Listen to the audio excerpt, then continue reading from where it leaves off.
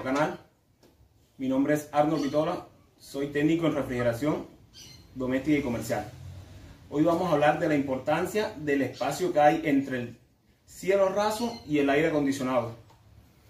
Y vamos a mirar la consecuencia que trae de esta mala instalación. Otra consecuencia es de estar desmontando y montando el aire constantemente para hacer dicho mantenimiento. La consecuencia es la siguiente.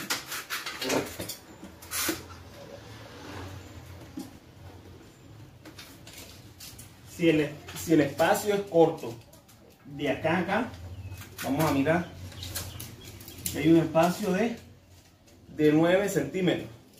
Ese espacio no es considerable para hacer un mantenimiento y vamos a ver cuáles son las consecuencias.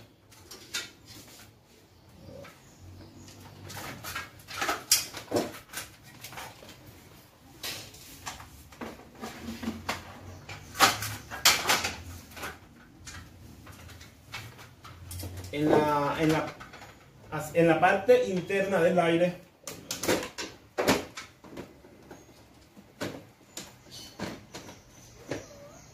y miramos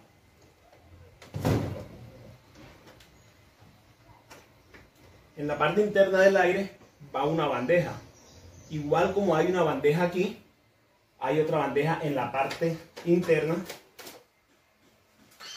En la parte de atrás hay una bandeja. Ahora vamos a proceder a hacerle mantenimiento al aire y vamos a observar que en la parte de atrás hay una bandeja. Esa bandeja siempre que se le hace mantenimiento al aire se debe lavar. Pero como no hay el espacio suficiente,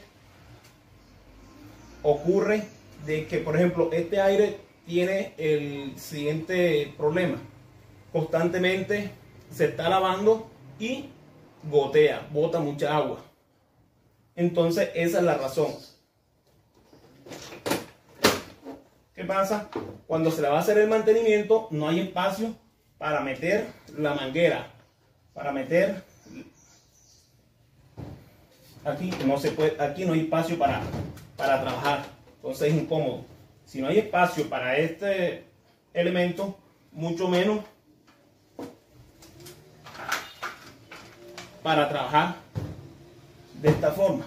¿Qué pasa? Que queda limpio aquí, queda limpio en el blower, pero acá en la parte más importante queda como si no se hubiese hecho mantenimiento, o sea, queda inconcluso, queda el mantenimiento mal hecho.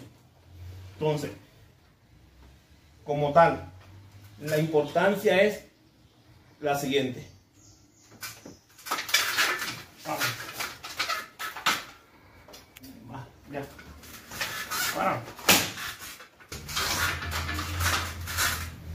Aquí podemos mirar la diferencia que tiene la instalación de este aire que cumple con las buenas prácticas de la instalación de un aire debe tener como mínimo de 15 a 17 centímetros.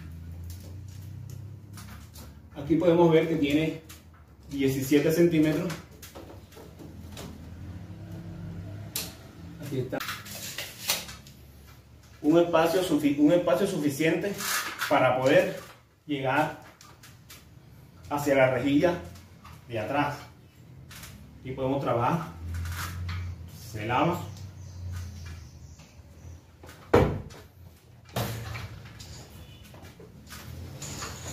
aquí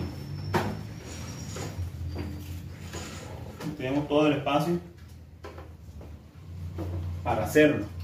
Es más esta está fija y no da. Hay otra que sí se puede recortar hasta acá o se pueden doblar.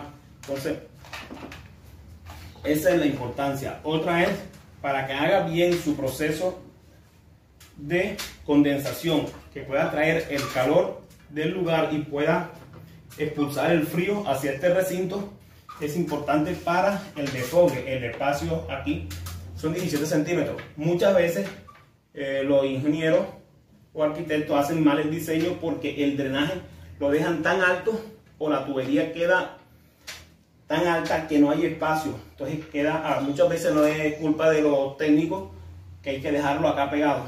Pero sí es bueno tenerlo en cuenta. Ahora vamos a explicar lo siguiente. Muchos clientes tienen tienen eh, como de costumbre decirle a los técnicos que hay que desmontar y montar el aire constantemente para que el aire quede bien lavado. En mi caso no es recomendable. Ya veremos por qué. La consecuencia es la siguiente. Si el aire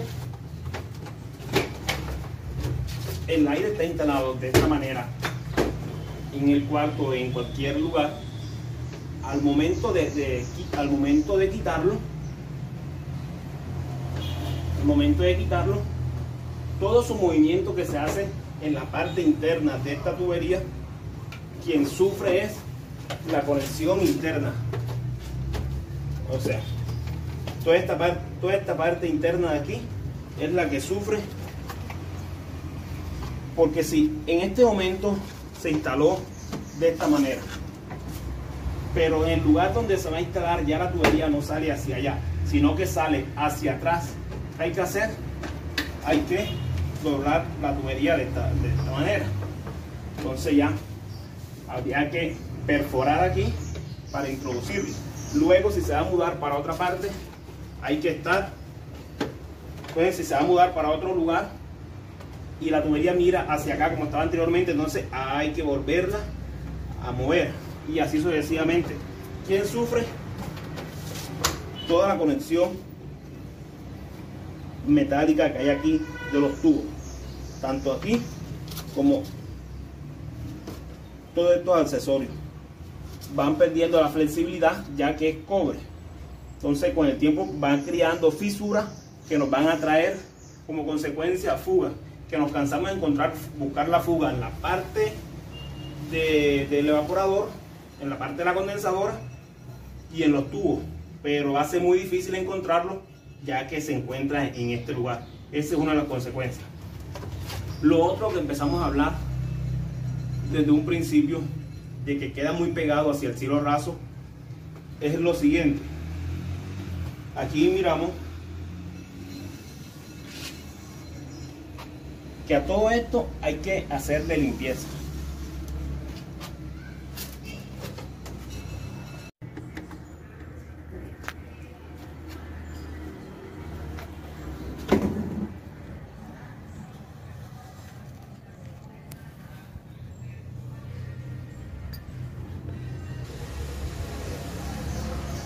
aquí podemos mirar sí, es, es importante desmontar el aire cuando se encuentra a esa distancia que no cumple los 17 o los 15 centímetros del cielo raso miremos claro si el aire se desmonta le hacemos un mejor mantenimiento Miren. Esto, esto, es lo que, esto es lo que no permite que saque el flujo de aire frío, que es lo que produce acá. ¿Qué hace él? Expulsa el frío y a la vez se lleva el calor hacia la condensadora. Esta es la condensadora. Esta es la condensadora a la cual esta es la condensadora a la cual para hacerle su mantenimiento hay que tener en cuenta que hay que tapar con una bolsa el motor para que no se le vaya a la bobina agua entonces ahí sí queda mejor lo hagamos de esta manera.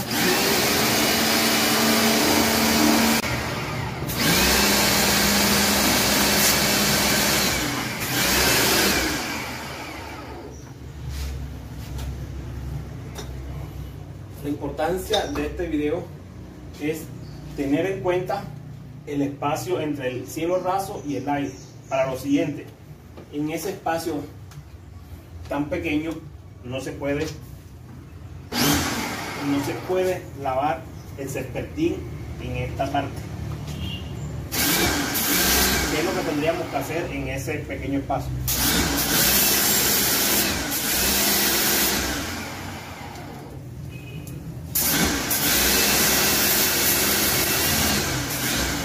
Muchas veces cuando el aire comienza a gotear, como pasaba con este, goteaba en la parte de la pared, es porque en la bandeja que en la bandeja que ellos traen en esta parte se tapa de igual manera como se tapa aquí. De igual manera, así como se ensucia. De esta forma, de igual manera se tapa acá. Entonces, para evitar de que se acumule todo ese sucio, entonces se debe lavar de esa manera. Es muy fácil. Es muy fácil. Solo, solo hay que solo hay que soltarlo aquí. O solo se suelta acá. Y de ahí desprendemos y sacamos todo este serpentín. Aquí damos por concluido este pequeño comentario para tenerlo muy en cuenta